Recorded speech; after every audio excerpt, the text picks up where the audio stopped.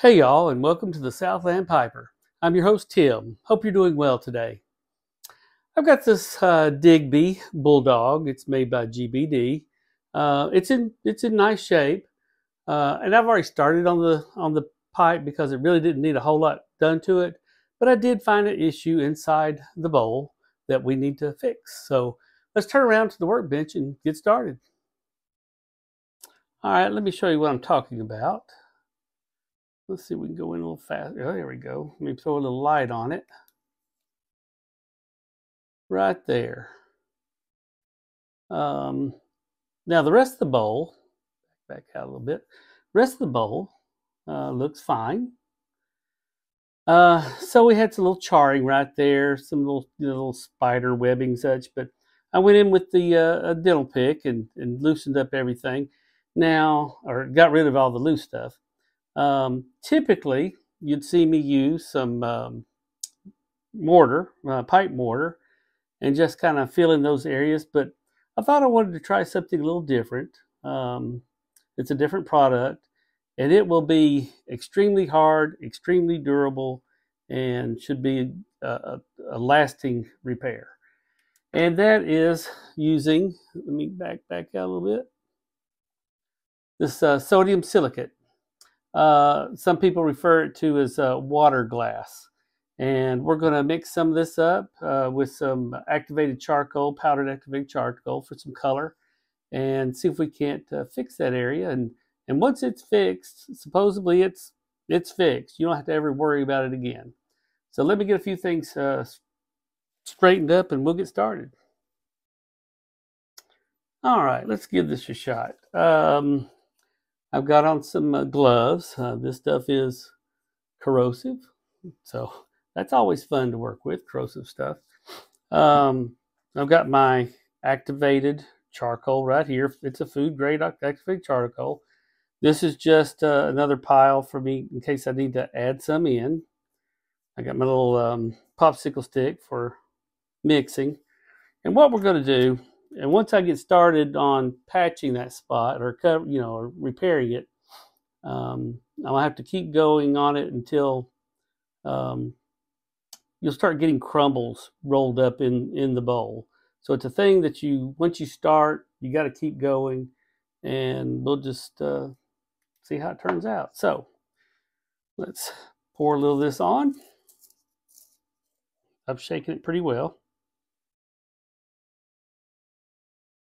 Uh-oh. Run off on me a little bit. All right. I need to re-level my desk a little bit. Well, let me just leave that open.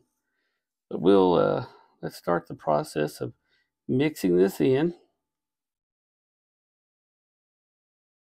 And there's a consistency that we're looking for where it just starts to start to peel up. Um, but we've got quite a bit to mix you're seeing this the first time along with me. So hopefully we do this right. Tell you what, this um, carbon goes everywhere, don't it? All right, we just got to keep mixing. Got about a 30 minute dry time, I think. And I may have to do this a couple of times to uh, figure it out. I mean, um, this is I haven't done any practice or anything like that, so uh, you're getting to ride along with me first time. Now I'm starting to like the consistency a little bit better. We need to work some of these clumps out. I think I still need a little bit more. Oop, may have poured too much. That's all right. We'll fix it. But I do like the consistency a little bit better now. So let's just keep going. Think I will drop in a little bit. I definitely have enough. This is supposed to be just a surefire way to fix these problems in, in pipes. So we're going to see if we can't learn something today. I like trying new things. I don't want to sit there and just do the same repair all the time, but uh, you know, sometimes that's what you kind of end up in the middle of doing, just same old, same old, but I like to have where I'm kind of forcing myself a little bit to, to learn things and uh, keep growing in this uh, hobby for me anyway. Um, I really enjoy it and like to try to find new methods, uh, new ways of doing things, see if I can improve the way I'm doing this work. It's almost to the consistency I believe we need. Um, we're getting there. Oh, yeah, all of a sudden it really started to lift. Keep going. Not exactly where I want it yet. Almost. All right. All right. Let's go for it. I'll take some of this. I'm going to get it down, oops, in that spot right there. And I'm going to press it in.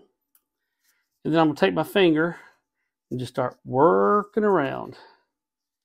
Working around. It's going to take a few minutes.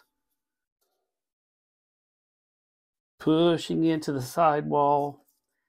And uh, I just hope this spot may be a little large. This method is mainly designed if you've got, you know, like the little spider web looking heat cracks and such. So this might be a little large, but we're going to see what happens here.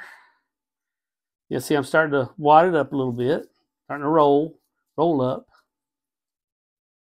You know, crumbs, almost like you um, with pencil erasers and such. See that right there? All right, got to keep going. Okay, we're getting there. But this should seal the whole bowl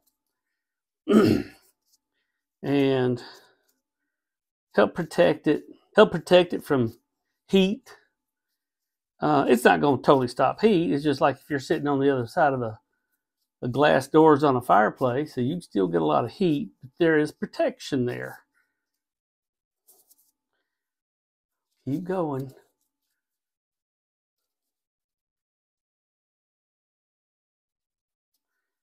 All right, I believe we're just about there. I think we've got all the excess gone. Now, let me just take that. Hopefully we didn't get too much up on the, the rim. Clean up a little bit. All right. Should be able to lose the gloves. All right. Um, I finished running my finger in there. Uh, got it to crumble up really well. Pressed it in real well. So now I just need to let it uh, sit overnight. So that's what we'll do. Uh, let it sit overnight, and we'll take a uh, look at it tomorrow for better for worse, and and see how it looks. Um, it should give the pipe a lot of good protection. Um, I definitely have to work on my technique a little bit. Uh, little little lumpy here and there. You just got to sit there and just really just keep it spinning, keep it spinning, keep it spinning.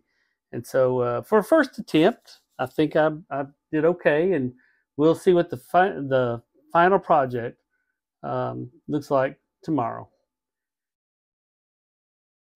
Okay, it's been 24 hours or so uh, since I put the sodium silicate, uh, also known as water glass, into uh, this Digby, uh, where we had a little charred area. So let's take a look.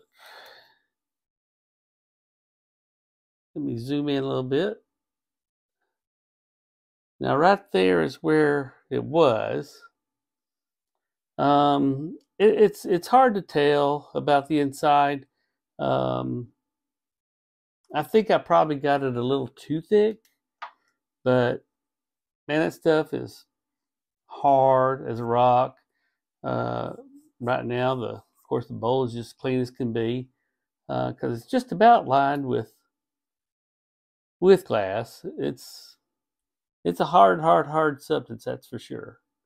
So we'll just see what becomes of this uh, repair. I think it'll be totally fine, but next time I need to uh, start with it a little thinner and also just keep going and, and wiping off more, getting it to crumble up uh, more. So A little thick this time. Uh, is it a bad thing? No, not necessarily. So I'm going to call the experiment with the sodium silicate a, um, a success. And um, I think I'll use it again in the future. So there's my little Digby. Nice looking little bulldog. Thanks for spending your time with me today and hope to talk to you soon. Bye.